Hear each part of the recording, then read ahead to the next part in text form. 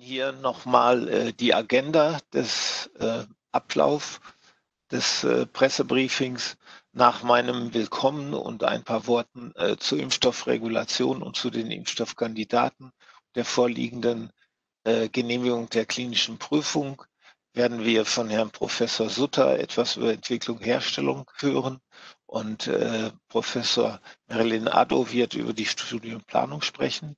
Ähm, sie ist äh, die Leiterin der klinischen Prüfung am UKE in Hamburg ähm, und es steht Ihnen weiterhin, das ist auf dem nächsten Dia zu sehen, Dr. Andreas Neubert als Chief Scientific Officer von IDT Biologica für Fragen zur Verfügung. Danach ähm, möchte ich noch einen kleinen Ausblick geben, um für Sie einzuordnen, wo wir hier stehen mit der Impfstoffentwicklung. Ähm, das Thema ist von großem Interesse. Diejenigen von Ihnen, die heute früh genug aufgestanden sind, um das Morgenmagazin in ARD und CDF mitzusehen, haben sicher wahrgenommen, dass äh, immer wieder Spots gezeigt werden, die erläutern nicht nur, wie die Impfstoffentwicklung zu Covid-19 weltweit aussieht, sondern auch speziell in Deutschland. Und da freue ich mich, dass wir Ihnen heute einige Einblicke geben können. Nach diesem Ausblick haben Sie dann Gelegenheit, Fragen zu stellen, so dass wir ähm, versuchen, Ihre Informationen, äh, Ihren Informationsbedarf so vollständig wie möglich zu decken.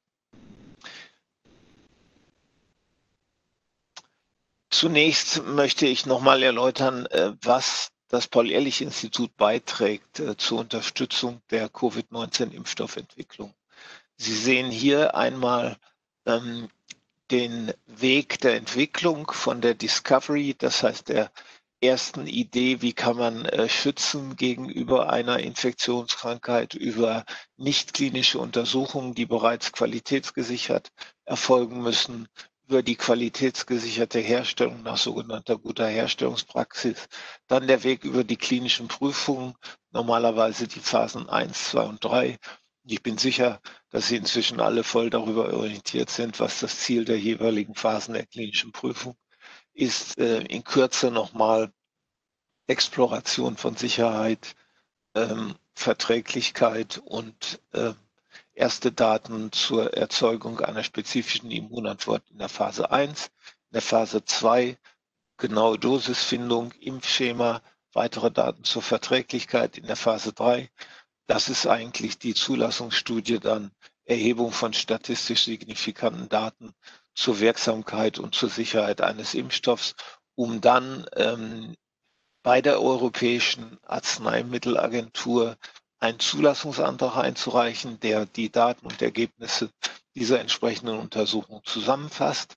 Hier gibt es einen Ausschuss für Humanarzneimittel, das äh, ist der CHMP, in dem auch das Paul-Ehrlich-Institut äh, als Mitglied seinen Sitz hat. Hier werden ausgewählt Rapporteur, Co-Rapporteur, die die Bewertung vornehmen. Es gibt eine gemeinsame Datenbewertung dann innerhalb dieses Gremiums und dann eine Empfehlung des Gremiums für Zulassung oder nicht und die Zulassung durch die Europäische Kommission wie dargestellt. Aber natürlich endet es damit nicht, sondern ähm, nach dieser Nutzen-Risikobewertung, bei der der Nutzen weit gegenüber den Risiken bei Impfstoffen überwiegen sollte, verfolgen wir natürlich auch nach der Zulassung über die Pharmakovigilanz, über die Chargenprüfung äh, den Weg dieser Impfstoffprodukte weiter. Sie sehen hier Chargenfreigabe und Pharmakovigilanz. Wichtig ist, wir sind im Moment hier im Stadium der ersten klinischen Prüfung. Die Genehmigung der klinischen Prüfung durch das Paul-Ehrlich-Institut ist erfolgt. Äh, zur Erteilung der Herstellungserlaubnis für qualitätsgesicherte Herstellung finden Inspektionen statt, zusammen mit Landesbehörden, später bei der Zulassung eventuell ähm, durch die EMA im Sinne dessen, dass das Paul-Ehrlich-Institut die Landesbehörden hier begleitet, aber sie entscheiden darüber. Und natürlich können wir Maßnahmen ergreifen. Ähm, zur Gefahrenkoordination sollten sich besondere Risiken hier herausstellen. Ähm, Sie sehen hier, wir haben äh, eine Phase 1 Impfstoffprüfung in Deutschland vor uns. Und was sind die allgemeinen Voraussetzungen? An diesem Beispiel speziell dargelegt. Zunächst wurde eine Impfstoffplattform äh, gewählt. In diesem Fall handelt es sich um ein MVA-Impfvirus. Das ist das sogenannte Modified Vaccinia Virus Anchor. Und es gibt bereits ein zugelassenes Produkt, ein Pockenimpfstoff Imvanex, der ebenfalls auf diesem Vektor, auf diesem Impfvirus basiert. Der Vektor ist also dazu da, die äh, entsprechenden Antigen-Gene des Erregers SARS-Coronavirus-2 auf wenige Körperzellen zu übertragen. Es liegen klinische Erfahrungen äh, nicht nur durch die Zulassung, sondern auch mit anderen MVA-basierten Vektorimpfstoffen vor. Die Gruppen, deren Ergebnisse Sie hören werden, haben hier bereits umfangreiche Erfahrungen gesammelt bei dem Versuch, andere Impfstoffe auf MVA-Basis zu entwickeln. Ähm, wie Sie wissen, dass der Immunschutz ähm, zurückgeführt wird potenziell auf das Spike-Protein des ähm, des SARS-Coronavirus 2 und äh, diese entsprechenden Ergebnisse beruhen darauf, dass auch MERS-Coronavirus-Impfstoffe in den klinischen Prüfungen getestet wurden und dass wir wissen, dass äh, Tierversuche angezeigt haben, dass auch bei SARS-Coronavirus das Spike-Protein schützende Wirkung entfalten kann.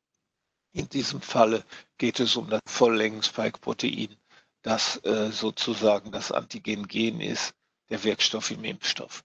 In diesem Falle wurde keine weitere Modifizierung der Erbinformationen, also des Bauplans für die Bildung dieses Spike-Proteins vorgenommen. Ähm, was setzen wir voraus in Bezug auf die Herstellung? Wir setzen eine qualitätsgesicherte Impfvektorherstellung in Zellkultur voraus. Das äh, Geschäft übernimmt die Firma IDT Biologica die hier äh, weitreichende Erfahrung hat, um eine Herstellung auch in größerem Maßstab für die Phase 1 zu gewährleisten. Der Impfstoff wird formuliert abgefüllt, die Chargenprüfung erfolgt beim Hersteller im Falle der klinischen Prüfung. Hier geht es um Erhebung der Identität von Vektor- und Antigen-Gen, äh, dem Vektor Titer, also die Menge der Vektorpartikel im vorgegebenen Volumen, und äh, es sollen ja zwei Dosisstärken getestet werden, die entsprechend abgefüllt werden. Einmal eine niedrigere Dosis von einmal 10 plus 7 Infectious Units IU pro Milliliter und eine hohe Dosis von einmal 10 hoch 8. Ähm, und wir achten darauf, dass es einen geringeren Anteil von den Zellsubstraten gibt, auf denen der entsprechende Vektorimpfstoff gezogen wird. Sie sehen hier nochmal die wichtigen Punkte der präklinischen Untersuchung, auf die wir als Paul-Ehrlich-Institut in diesem und allen anderen Fällen Wert legen. Es geht um Darstellung, dass der Impfstoff eine spezifische Immunantwort, in diesem Falle gegen das Spike-Protein von SARS-CoV-2, in der Maus induzieren kann, äh, Erhebung einer ungefähren Dosis. Äh, und es geht darum, ob ein oder zweimal geimpft werden muss, um eine optimale Immunreaktion zu erzeugen. Toxikologisch, wie wir sagen, an Ratte und Kaninchen äh, bei wiederholter Impfstoffgabe werden Plattformdaten erhoben. Es geht um weitere Pharmakologie und Kinetikdaten. Was ist das Ziel der klinischen Prüfung? Nun, es geht um Sicherheit, Verträglichkeit, Reaktogenität, wie wir sagen, ähm, und Antikörperinduktion. Immunogenität am Menschen ist ein wichtiges Ziel, denn ähm, es hat sich gezeigt, dass äh, Impfstoffprodukte durchaus in der Maus in der Lage sind, eine gute Immunantwort äh, zu erzeugen. Aber das Gleiche muss auch am Menschen verifiziert werden. Es geht natürlich auch um die Dosierung, um erste Ermittlung von äh, groben Sicherheitsproblemen, so sie denn existieren sollten. Ähm, es geht um die generelle Verträglichkeit. Sie wissen, dass Impfstoffe vorübergehend, ohne Schaden anzurichten, Fieber, Kopfschmerz, Unwohlsein hervorrufen können, weil einfach eine Reaktion des Immunsystems auf das eingebrachte Antigen, also das Fremdeiweiß, äh, reagiert. Es geht um die lokale Verträglichkeit. Es geht aber auch darum, nachzuweisen, dass hier Antikörper induziert werden gegen SARS-Coronavirus 2 Spike-Protein. Und äh, Sie erinnern sich vielleicht an frühere Diskussionen, dass wir ja vorbeugend schon über theoretische Risiken von Covid-19-Impfstoffen diskutieren. Dazu gehört das Verhältnis neutralisierender zu bindender Antikörper, das stimmen muss, um keine Infektionsverstärkung zu bekommen. Ebenso wie eine Balance der Immunantworten. Auch hier TH1 versus TH2 sind Fachbegriffe, die nachgesehen werden. Und es handelt sich hier um äh, eine klinische Prüfung der Phase 1 mit 30 Personen, kein Kontrollarm. Genauer gesagt werden äh, Erwachsene von, im Alter von 18 bis 55 Jahren geimpft werden. Zweimalige Impfung im Abstand von 28 Tagen. 15 Personen in der Gruppe niedrige und hohe Dosierung. Zytokinprofil wird erhoben. Die Antikörper werden gemessen und weitere Erhebung zu einer möglichen Infektionsverstärkung über, was hier genannt ist, Antibody-Dependent Enhancement oder Enhanced Respiratory Disease, also einfach Infektions- und Krankheitsverstärkung am Tier werden äh, im, parallel zu dieser klinischen Prüfung durchgeführt. Ich bin damit am Ende, bedanke mich sehr für die Aufmerksamkeit bis hierher und würde jetzt bitten, dass äh, Herr Sutter äh, seine Präsentation vornehmend danach Frau Addo und Herr Neubert, wie gesagt, steht hinterher für Fragen zur Verfügung. Vielen Dank und ich leite gerne über. Vorgestellten Kandidatimpfstoff handelt es sich um ein äh, Entwicklungsprojekt aus dem Deutschen Zentrum für Infektionsforschung, äh, wie Professor Zicheltek schon angedeutet hat, äh, mit den äh, Schlüsselpartnern der Universitäten München, Hamburg und Marburg und unserem Pharmapartner der, äh, der IDT äh, Biologica. Ähm, nächstes Dia bitte, Marilyn. Das äh, Deutsche Zentrum für Infektionsforschung ist ein Verbund von 35 äh, universitären und außeruniversitären Einrichtungen, äh, die sich der Infektionsforschung in neun Schwerpunktbereichen verschrieben haben. Der Forschungsbereich neu auftretende Infektionskrankheiten, äh, der versucht jetzt genau einen Beitrag zu leisten zur Begegnung von plötzlich bei plötzlich auftretenden Epidemien, also eigentlich genau bei so einer Situation, wie wir sie jetzt gerade vorfinden bei Covid-19. Und äh, hier versuchen wir an praktisch allen Stellen der Reaktionskette, angefangen von der Testentwicklung für die Diagnose hin bis zum äh, äh klinischen Management von, äh, von äh, plötzlich auftretenden Krankheiten äh, zu unterstützen. Uh, unser Bereich in München ist hier insbesondere ein Beitrag zu leisten bei der Entwicklung von, von Impfstoffen, die möglichst schnell eben in die klinische Prüfung gebracht werden können. Und äh, wir nutzen hierfür eine, eine am Deutschen Zentrum für Infektionsforschung etablierte Technologieplattform auf der Basis des von Professor Zicheltek bereits angesprochenen modifizierten Vaccinia-Virus Ankara äh, oder MVA. Nächstes Tier bitte. Ähm, das Vaccinia-Virus MVA äh, ist ein, ein Pockenimpfvirus, das bereits vor vielen Jahren äh, hier in meinem Institut in München an der, äh, an der Universität München äh, ent, entwickelt wurde als äh, ein äh, sehr gut verträglicher Pockenschutzimpfstoff. Äh, das hat man gemacht durch eine Anpassung des Virus an, äh, an das Wachstum in Hühnerzellkulturen äh, und in der Tat wurde äh, bereits in den 70er Jahren ein erster MVA-Vorimpfstoff äh, zur Verbesserung der Verträglichkeit der Pockenschutzimpfung eingesetzt und auch vom Paul-Ehrlich-Institut damals zugelassen. Wie Sie gerade gehört haben, haben wir einen anderen MVA abgeleiteten alleinigen Pockenschutzimpfstoff seit 2013 in Europa, Kanada und seit 2019 auch äh, in den USA zur Verfügung. Ähm, und äh, auf der Basis dieser, äh, dieser bereits guten virologischen, exzellenten virologischen Vorcharakterisierung, nächstes Dia, ähm, erm, ermöglichte, äh, ermöglichte die, die besondere Eigenschaft des MVA-Virus eben, wie die bereits erwähnte Unfähigkeit, sich in äh, Wirtszellen, äh, die vom Menschen abstammen, äh, produktiv vermehren zu können, äh, äh, ein Vektorsystem zu etablieren, das sich durch besondere äh, Verträglichkeit und, und biologische Sicherheit auszeichnet, gleichzeitig die wirksame Produktion und Verabreichung von viralen und auch fremden Antigenen ermöglicht. Und in der Tat besitzen wir äh, besitzen wir mittlerweile bereits äh, gute Erfahrungen aus, dem, aus der klinischen Prüfung mit zahlreichen Testimpfstoffen äh, des äh, MVA-Virus. Nächstes Dia bitte.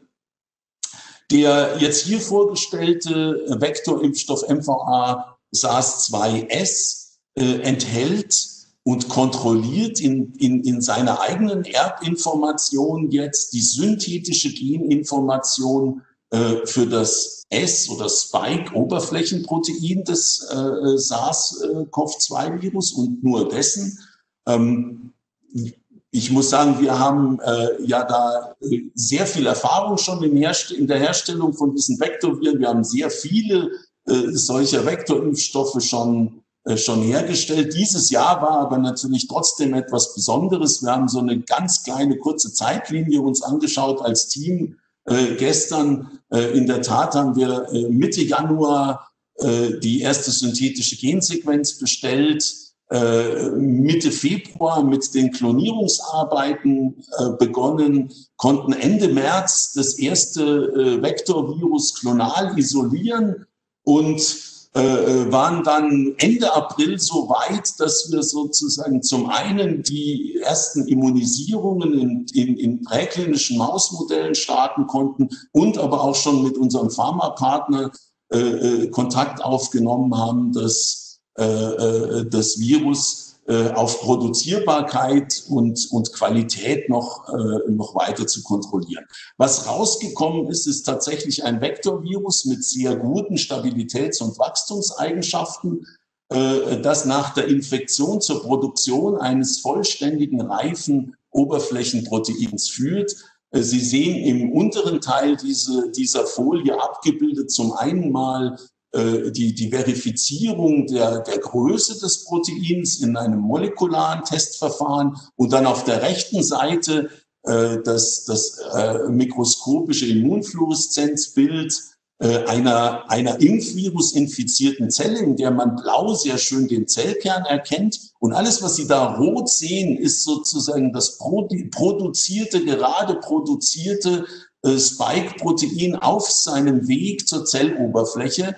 Äh, und genau das würde man dann natürlich auch in den Zellen eines Impflings erwarten. Äh, an der Oberfläche dieser Zelle wird dieses Protein dann erkannt und führt dann, wie wir es jetzt bei den Mäusen gesehen haben, hoffentlich auch im Menschen, äh, zur Bildung von S-Protein-spezifischen Antikörpern und T-Zellen und dann hoffentlich auch vor einer, zu einer Schutzwirkung vor der Infektion mit dem SARS-CoV-2-Virus. nächstes Tier bitte.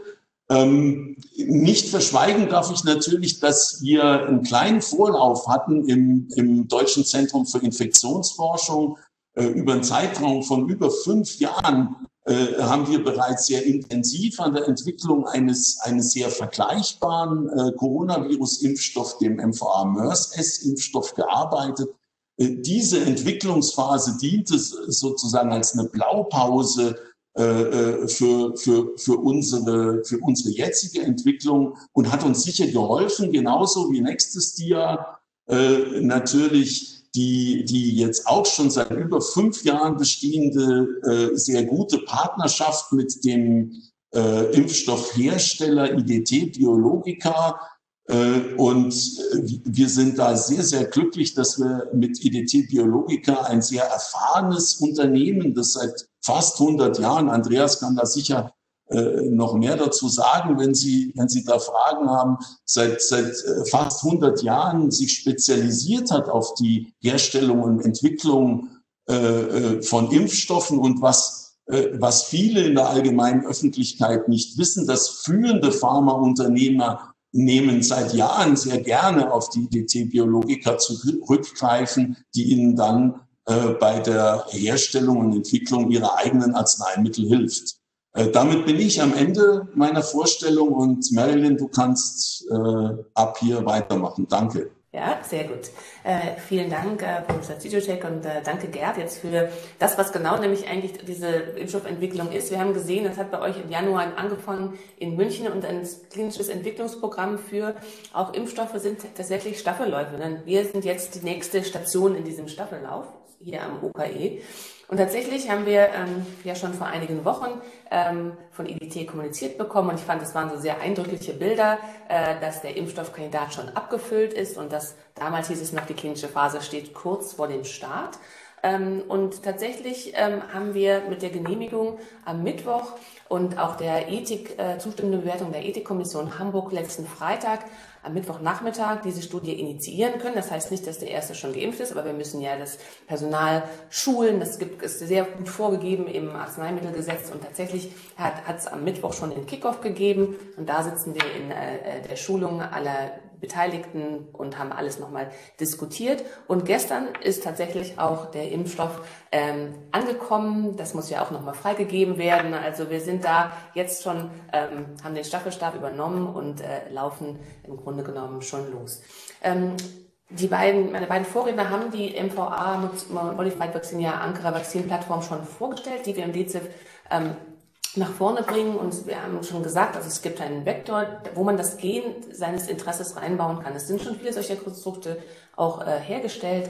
Und ähm, ich wollte in dieser Folie noch mal darauf eingehen, was in, im, im DZIF schon gemacht wurde, weil es sind mehrere Projekte unterwegs, äh, damit man das vielleicht auch noch mal so ähm, plastisch aufgedröselt findet. Also wir haben, es ist schon erwähnt worden, dass wir ähm, für ein ähnliches Coronavirus, also MERS, das Middle East Respiratory Syndrome Coronavirus, ähm, das ja vor einigen Jahren entdeckt wurde, äh, einen ähnlichen Impfvektor gebaut haben oder vielmehr Herr Sutter hat das äh, konstruiert, analog zu der Entwicklung, die wir jetzt hier für SARS haben. Ähm, und äh, wir haben da eine Phase 1 Studie auch vom DEZIF finanziert, also komplett aus öffentlichen Mitteln, schon abgeschlossen. Und das wurde dieses Jahr im April ähm, veröffentlicht. Und da werde ich Ihnen gleich Daten zeigen, weil das ist unsere Blaupause gewesen, um auch schnell starten zu können äh, in den äh, SARS-2-Entwicklungsprozess. Dieses Entwicklungsprogramm läuft allerdings auch noch weiter, parallel zu unseren äh, neuen Aktivitäten zu SARS. Wir haben da von CEPI, äh, der Coalition for Epidemic Preparedness Innovation, eine Förderung bekommen in einem, im Konsortium, wo ein Konsortialpartner, das Deutsche Zentrum für Infektionsforschung, die IDT, aber auch zwei Partner in den Niederlanden noch dabei sind. Und dieses Entwicklungsprogramm läuft noch und es ist auch schon eine, ähm, äh, eine Studie, Phase 1b, ähm, zur Genehmigung eingereicht und soll eigentlich dieses Jahr auch noch starten. Ähm, Im SARS-Programm ähm, gibt es auch einen, einen Entwicklungsplan. Wir sprechen heute über die Phase 1-Studie, deren Finanzierung das DZIF in einem Fast-Track-Verfahren äh, zugesichert hat, schon frühzeitig. Und diese Studie ähm, startet ähm, halt hat gestartet und wird hoffentlich im Oktober die ersten Patienten ähm, auch impfen. Das weitere Entwicklungsprogramm, und es wurde ja auch in den Medien schon ein, dass die BMBF-Förderung, ähm, die an mehrere deutsche, drei deutsche Unternehmen ausgesprochen wurde, äh, erwähnt. Und die Phase 2 und Phase 3 Studien werden Teil dieser BMBF-Förderung sein, äh, mit ICT als Lead des Konsortiums. Ähm, die Daten, die schon mehrfach kurz erwähnt wurden, ähm, sind ähm, über den MERS-Impfstoff, unsere Blaupause für MERS, äh, für SARS-S2, ähm, sind äh, im Lancet dieses Jahr veröffentlicht worden. Hier haben wir eine kleine Studie in Hamburg durchgeführt mit 23 Individuen, die auch in zwei Dosisgruppen geimpft wurden. Die haben an Tag 0 und an Tag 28, sehr analog zu dem, was wir planen für die jetzige Studie, geimpft wurden. Und wir konnten in dieser kleinen Studie zeigen, dass der Impfstoff gut vertragen wurde und es wurden sowohl Antikörper- und T-Zellantworten gebildet. Die Antikörper zeige ich Ihnen im nächsten Dios, Dia. Und alle die Sachen, auf die wir jetzt achten werden, ähm, dass das die Ratio Antikörper, neutralisierende Antikörper-Binding-Antibodies ähm, gut ist und dass wir vor allem eine TH1-Antwort induzieren, haben wir in dieser kleinen Studie schon ähm, vortesten können. Ich zeige Ihnen hier aus dieser Publikation äh, von äh, Herrn Koch und Frau Dahlke ähm, Antikörper wertet. Blau ist die Niedrigdosisgruppe und rot die High-Dosis-Gruppe und die grau sind die Kontrollen. Äh, die Pfeile zeigen jeweils die Impfungen an und wie Sie sehen, steigen die Antikörperantworten gut an. Oben links die Binding, also ELISA ist eine Technik, um die bindenden Antikörper zu testen und Virusneutralisation kann man auf verschiedene Arten und Weisen ähm, detektieren und ähm, auch dort sind gute Antworten gesehen worden und diese beiden Antworten korrelieren gut. Äh, so insofern aus diesem anderen Coronavirus-Projekt ähm, konnten wir halt zeigen, dass 100 Prozent der hohen Dosisgruppe Antikörper entwickelten, also eine Serokonversion zeigen konnten. Ähm, zur jetzt genehmigten Studie ist ja schon ein, äh, durch Herrn Professor Situschek etwas gesagt worden. Ähm, Sponsor nach dem Arzneimittelgesetz ist das UKE, das Universitätsklinikum Hamburg-Eppendorf, die auch schon in, in, anderen Projekten da den Lead übernommen haben. Das sind ja große Verantwortlichkeiten, sowohl im Ebola-Projekt als auch im MERS-Projekt. Hat das äh, UKE die Sponsorrolle übernommen. Es ist eine Open-Label-Studie, wie Herr Zituzek schon sagte. Also es sind ja momentan auch schon viele weitere Studien unterwegs, die Placebo-Gruppe haben. In dieser, äh, in dieser Studie werden 30 Individuen geimpft und wir wissen von jedem, welche Dosis er bekommt. Das wird auch nur an einem Zentrum durchgeführt und die Ziele sind Sicherheit, Tolerabilität und Reaktivität und, und auch die Immunantworten zu testen. Sie können die äh, Synopse und die Skizze auch auf clinicaltrials.gov ähm, einsehen. Da sind alle Informationen hinterlegt. Wir führen diese ähm, klinischen Studien jetzt schon seit Jahren auch mit einem äh, Auftragsforschungsinstitut äh, hier in Hamburg durch, dem Clinical Trial Center North. Und dort werden die Patienten ähm, physisch ähm, betreut, nachverfolgt und, äh, und äh, werden alle studienrelevanten Prozeduren durchgeführt. Die Laborexperimente werden in Hamburg ähm, in unserem Labor im Tropeninstitut und äh, in den Universitäten äh, Marburg und München weiter durchgeführt. Äh, wir sind eben schon darauf eingegangen. So ungefähr kann man sich das Studienschema äh, vorstellen. Wir haben es ja schon mehrfach besprochen. Also zwei Gruppen, jeweils 15 Individuen. Wir wollen das auch äh, Frauen und Männer ungefähr gleich verteilt haben in diesen äh, Studiengruppen. 18 bis 55 Jahre, das sind First in Human Studien und das ist ähm, die gängige Vorgehensweise. Und dann werden diese ähm, Probanden über sechs Monate insgesamt weiterverfolgt mit verschiedenen äh, Studienvisiten, wo Blut abgenommen wird und äh, für Sicherheit und als auch für Immunitätsfragen. Und dieses primäre Ziel ist die Sicherheit und Verträglichkeit in der Phase 1 und dann die Antikörper gegen das SARS-CoV-2-Spike-Protein. Wie fügt sich diese Studie in das Gesamtentwicklungsprogramm, das für diesen Impfstoff geplant ist, ein? Also wir sind jetzt gerade in der äh, Genehmigung der Phase 1, First in Human. Ähm, die erste Impfung hoffentlich im Oktober 2020, nachdem wir ja die Studie gestern oder Mittwoch initiiert haben. Ähm, und hier kommt die, die äh, Studienfinanzierung äh, vom Deutschen Zentrum für Infektionsforschung. Die Phase 2 soll mehr Probanden einschließen, auch in verschiedenen Altersgruppen. Also insgesamt sollen da bis zu 600 Probanden eingeschlossen werden. Das wird eine placebo-kontrollierte Studie sein, die Placebo gegen die beiden äh, Dosisgruppen testen wird, um auch ähm, eine Dosisfindung für die weiterführenden Studien zu generieren und noch mehr Sicherheitsdaten ähm, zu produzieren. Und hier ist die Förderung ausgesprochen worden vom Bundesministerium für Bildung und Forschung an die Firma IDT äh, in einem Konsortialprojekt. Und letztendlich und alles das unter Vorbehalt, dass ähm, das Programm so, ähm, dass es keine weiteren Komplikationen gibt, wäre die, dann der nächste Schritt die Phase 3 Prüfung. Und hier, ähm, während für die Phase 1 und Phase 2 das UKE die Verantwortlichkeit äh, der klinischen Prüfung äh, übernimmt, würde in der Phase 3, die auch multizentrisch ähm, laufen soll, mit dann wahrscheinlich mehr als 20.000 äh, Individuen in 2021, das Klinikum in München äh, die Sponsorrolle übernehmen, mit Herrn Hölscher als Leiter der klinischen Prüfung. Und auch diese äh, Studie würde vom BMBF über diese ausgesprochene Förderung ähm, finanziert werden. Damit bin ich eigentlich auch fast am Ende und würde mir bleibt eigentlich nur noch mal einen Dank auszusprechen an das gesamte Team. Hier haben Universitär und im Deutschen Zentrum für Infektionsforschung ähm, und ähm, in den Laborgruppen viele Leute sehr, sehr, sehr hart in, ähm, in, in Rapid Speed ähm, ein, ein, Projekt ähm, nach vorne gebracht und äh, man kann eigentlich nie häufig genug anhalten, äh, da auch Dank auszusprechen, dass alle da so mitgemacht haben und dass wir auf unsere gute vorhergegangene Zusammenarbeit aufbauen können und deswegen auch ähm, in dieser Situation schnell reagieren können. Damit bin ich am Ende. Vielen Dank. Und zwar ist es so, dass ich hier auf diesem Dia nochmal gezeigt habe, welche unterschiedlichen Formen von Impfstoffen es gibt. Lassen Sie sich nicht durch die Vielfalt verwirren. Ich führe Sie da der Reihe nach durch. Sie sehen zunächst hier links oben das, was Ihnen bekannt ist als inaktivierte Impfstoffe oder auch Totimpfstoffe. Das heißt, in diesem Falle wird einfach der jeweilige Erreger, das Virus vermehrt, danach inaktiviert, äh, mit einem Wirkverstärker versetzt und da der Erreger hier natürlich auch das äh, potenziell schützende Antigen, das Spike-Protein enthält, sind äh, diese Impfstoffe ebenfalls in der Entwicklung. Bisher nicht in der Entwicklung äh, sind die Lebendimpfstoffe oder auch die abgeschwächten attenuierten äh, Impfstoffe, die hier benutzt werden. Sie kennen das vielleicht von der Influenza-Impfung, dass bei Kindern und Jugendlichen entsprechende Impfstoffe nasal gegeben werden können. Äh, in diesem Falle wissen wir noch nicht genügend vom Virus, dass hier tatsächlich solche Lebendimpfstoffe in der Entwicklung sind.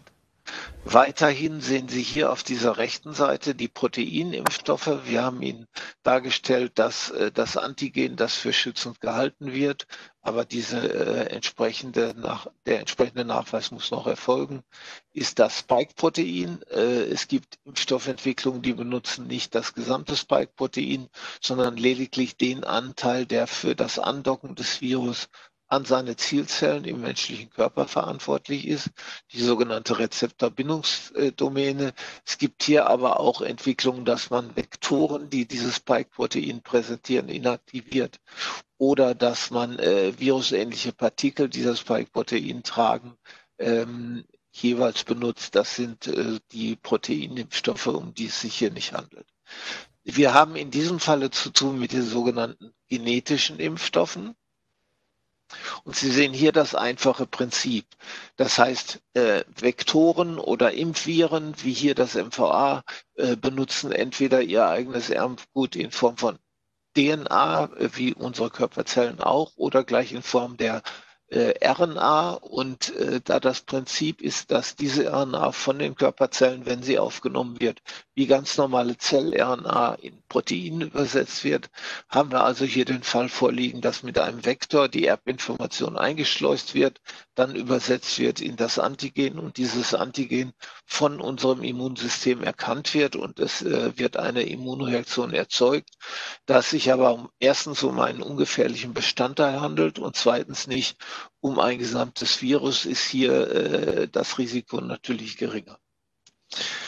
Sie sehen hier, ähm, dass wir äh, insgesamt äh, 41 Covid-19-Impfstoffkandidaten in klinischen Prüfungen haben, mit Stand äh, der WHO-Information vom 30. September.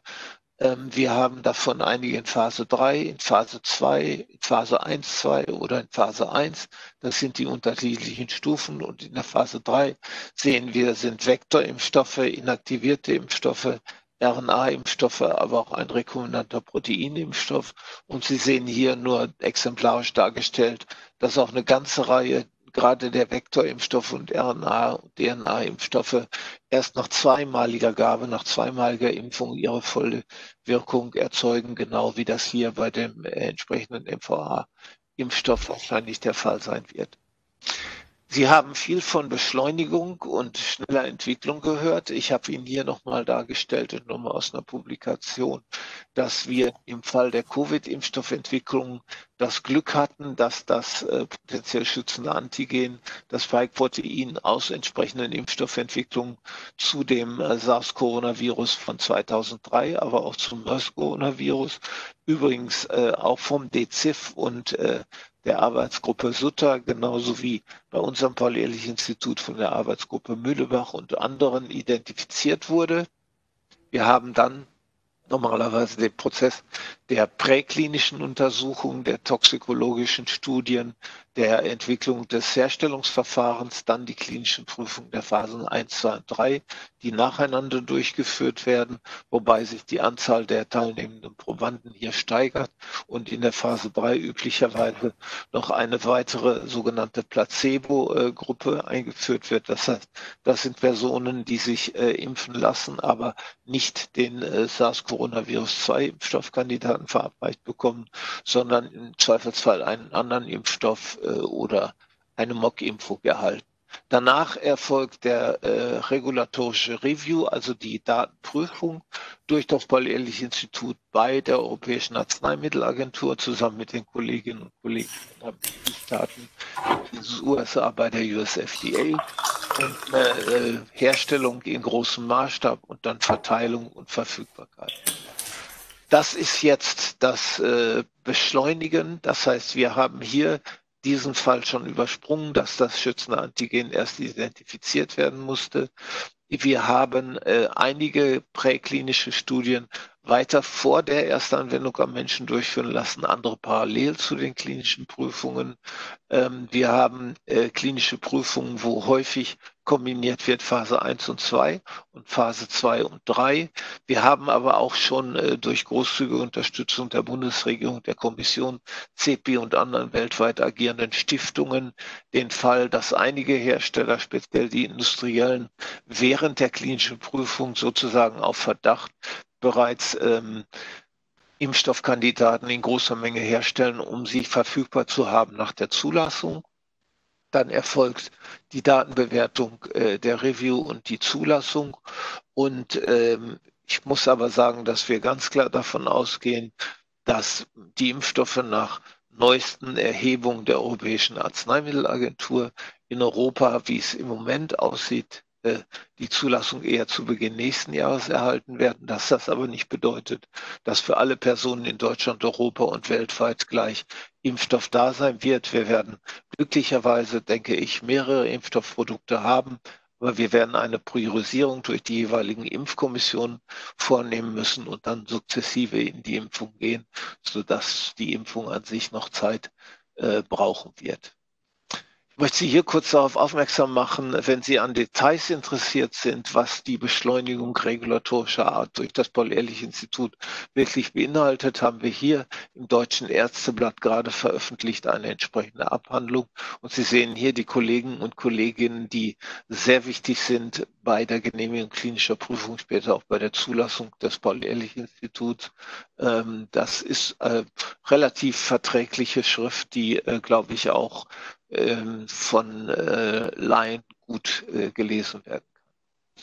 Ähm, ich möchte auch nochmal darauf aufmerksam machen, dass wir natürlich mit voller Kraft und mit äh, all unserer Erfahrung sehr viele wissenschaftliche Beratungen auch für weltweit tätige Firmen und Antragsteller vornehmen. Neu ist die binationale Beratung mit einer anderen Mitgliedstaatenbehörde äh, sehr häufig in letzter Zeit, zum Beispiel äh, Belgien, aber auch andere Arzneimittelbehörden spielen hier mit, dass wir natürlich auch bei der Europäischen Arzneimittelagentur entsprechende Beratung der sogenannten Emergency Task Force vornehmen, übrigens nicht nur zu Impfstoffen, sondern auch zu Therapeutika.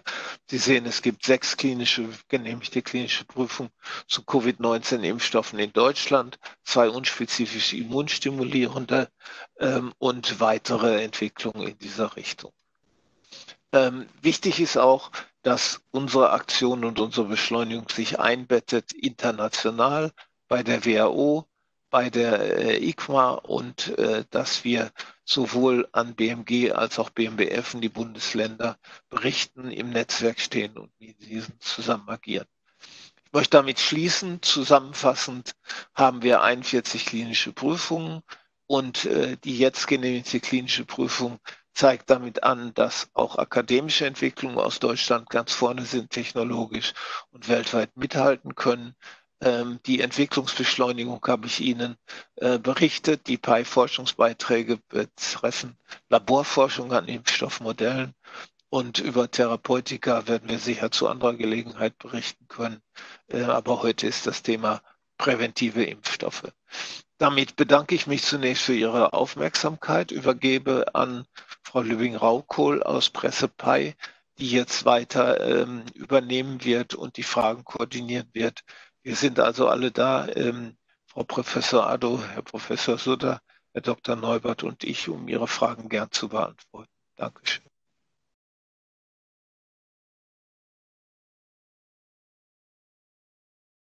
Äh, ich hätte eine Frage an Herrn Suter. Gibt es im Tiermodell äh, eine zytotoxische äh, T-Zellantwort auf die ähm, als Reaktion auf den Impfstoff? Äh, ja, das kann ich mit Ja beantworten. Es gibt sowohl eine zytotoxische als auch eine T-Helfer-Immunantwort äh, im Tiermodell. Darf ich noch was nachfragen? Bin ich noch drauf? Ja, sagen Sie vielleicht auch ganz kurz Ihren Achso, Namen. Ja, äh, Frederik Jörten für die Berliner Zeitung. Ähm, genau, Entschuldigung. Ähm, ist das, heißt das, dass, der, äh, dass diese zytotoxische T-Zellantwort, also dass, äh, dass die vorwiegende Antwort ist? Also würde man eher ähm, eine Infektion erwarten, nach dem, ähm, auch wenn man den Impfstoff gegeben hat, und dann erst eine äh, Eliminierung des, des Virus?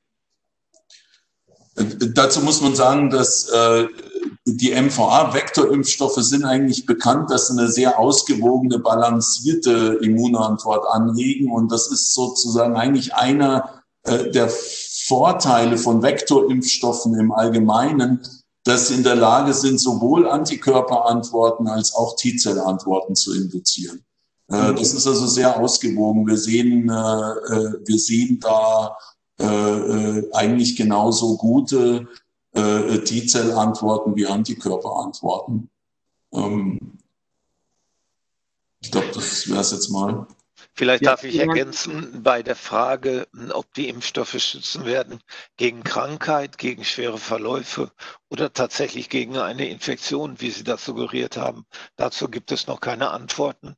Die Tierdaten an Altweltaffen deuten darauf hin, dass nur im Einzelfall wirklich ein kompletter Infektionsschutz erreicht wird, aber auf jeden Fall ein Schutz gegen äh, Covid-19. Die Frage geht an Frau Professor Adu. Und äh, äh, Herr Strähler, Frau Strähler fragt, ob äh, Sie den Wirkstoff auch bereits an sich selbst getestet haben. Ich, darf ich und meine Mitarbeiter dürfen nicht an ähm, äh, quasi Experimenten mit diesem Impfstoff teilnehmen. Ähm, ich kann hier sagen, ich nehme auch an einer klinischen Prüfung teil, aber einer, an der ich nicht beteiligt bin. Insofern, ähm, das ist vielleicht die Antwort auf Ihre Frage. Der NDR bedankt sich bei Ihnen, Frau Professor Adler. Gibt es weitere Fragen? Gut.